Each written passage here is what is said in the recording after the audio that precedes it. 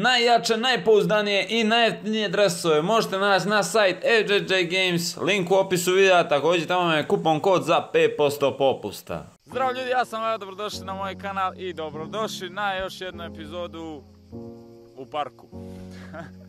Šalim se ljudi, danas radimo kako raditi crossover, već pokazat ću vam jedan trening za crossover, jer ste mi to tražili u komentare. Znači vi mi pišete koji sljedeći trening da ja uradim i taj trening ću uraditi. Bilo to da je par dva od nekog drugog treninga ili neki novi trening ja ću ga odraditi. Samo vi pišite u komentare. Znači svi znamo da je crossover jedna od najkorišćenijih tehnika u košarci i tako i jedna od najjednostavnijih tehnika. Ali naravno na nju najviše padaju protivnici. Tako da ćemo pokazati danas kako uraditi crossover pa da mi krenemo sa treningom.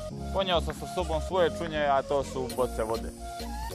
To su moji čunje za danas. Znači prvo ćemo raditi s jednim čunjom, pa ćemo raditi sa drugim čunjem. To je spojeno dva čunja da imaju. Prvo ćemo raditi s jednim i to vam je trening znači za crossover da vježbate crossover. Prvo ćemo početi sa onim vježbanjem crossovera da vam ne ispadne tokom driblanja lopta. Znači isto to vam je za kontrolu lopte. Prvo ćemo odraditi jedno kratko zagrijavanje pa ćemo onda preći na čunjeve. Znači prvo ćemo krenuti sa desnom rukom zagrijavanje za crossover. Znači sve što treba da uradimo jeste nogu ispred i ruku nazad. Znači poenta vam je da prođe lopta ispod sjevanice, a da se vi nagnete. Znači ispod sjevanice. Ovo vam je pokret crossover. Tako da ćemo sve do tamo ići ovako. Crossover, crossover. Idemo samo korak po korak. Uvatite slobodno dvije. Da vježbate malo pogled naravno pravo,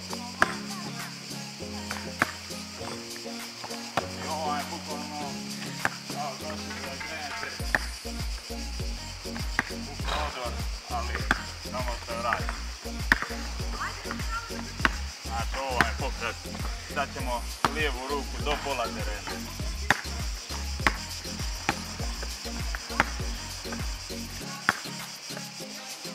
Čudno će vam biti za početak, jer, jer je navika da se ovo radi posle crossovera, ali sad radimo samo jednu ruku. Znači ispod cjevanica svaka lopta da prođe, pogled pravo i to je to.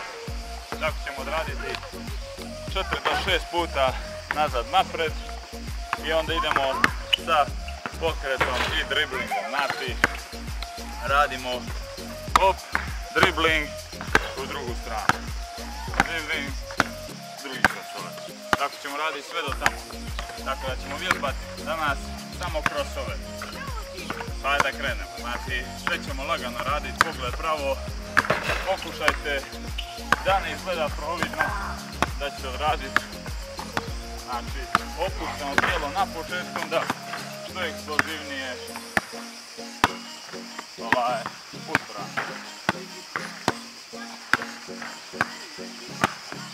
Znači poenta crossovera je da uvačite protivnika na nepažnju, ako on okrene pogled i vi vidite da ne prati. Znači da ga namamite na lijevu stranu i u desnu da vratite ili u desnu pa u lijevu da vratite. Znači ovo je do sad lagani pokret, kasnije ćemo raditi originalno da budu pravi jeste, pošto je ovo samo zagrijavanje. Znači zašto iskrivio ove čunjeve jeste zbog toga što je lakše izbaciti protivnika ako vam on stoji ovako kao što ovi čunjevi stoje znači u stranu, ako vam ispruži desnu nogu vi mu napadate tu desnu nogu, ako ispruži lijevu nogu vi mu napadate lijevu nogu, to je ako stoji ukrivo. Znači mnogo je lakše izbaciti protivnika tako nego da vam stoji ovako neutralan stav, jer ako vam stoji ovako teško ćete ga izbaciti na crossover, jednako se on cima lijevo desno ovako, onda ćete ga izbaciti. Ali mora naravno da ga namamite, da izgledate neprimjetno i da iskoristite njegovu nepažnju. Znači što vam kažem, trenutno je on namješten, znači čuj nam je namješten da protivnik izgleda ovako, znači čuva tako da ćemo mi na ovu stranu idemo, i protivnik kako pušta vas, na primjer, na vašu slabiju stranu, na primjer, da sam ja levak, ovo bilo za dešnjaka, znači ono da vas pusti na desnu, stranu, jer je vaša to slabija. Tako da ćemo uraditi nešto sasvim logično. Otići na koš desne strane i uraditi crossover na lijevu stranu. Ako je on nakrivljen da, da vas pusti na desnu stranu. Ako je nakrivljen da vas pusti na lijevu stranu, vi krenete ka lijevoj, bacite ga na crossover ka desno, kapirate, znači i vidite zašto sam pokrivio težine, kapiraš sad. Oh, izluđio sam. Uglavnom da pređemo mi na stvar. Najbolje uradi crossover je iz 0 do 100. Prvo ćemo krenuti sasvim lagano i onda ustrano. Jeste shvatili? Znači idemo lagano, full sprint. Ili full sprint, lagano. Kapirate? Mora, mora jaka promjena u slabu ili slaba u jaku. Tako da ćemo mi iz slabe u jaku. To vam je ta promjena što mi možda ćete ostati na šuku ili na polaganje naravno. Amo ponovno. No.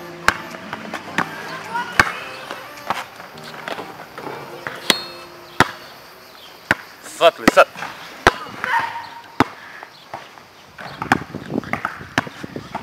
Sada pokazamo na lijevu stranu. Pokošit ćemo ga na lijevu stranu.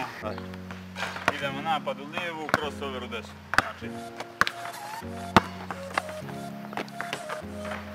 znači, najjednostavnije još jednom ćemo pokazati. Znači, ovaj drugi čovjek, objasniti. Može, nabacite sebi loptu, promjena, crossover. Lagano, završavam. Sad u drugu stranu, da jednom vam pokažem. Tu ćemo. Ovdje. Pa da vam bude dijagonal. Krećemo nabaciti sebi loptu. Ovdje.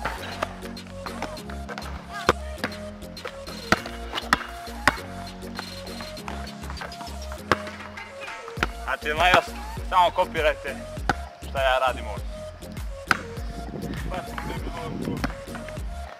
Promjena, cross ispod cjevanice, šutili, završetak. Nadam se da ste uživali i da ste naučili nešto novo. Pišite da je koji trening sljedeći da uradim, ja ću ga uraditi. To bi bilo to od mene, idućeg klipa, pozdrav!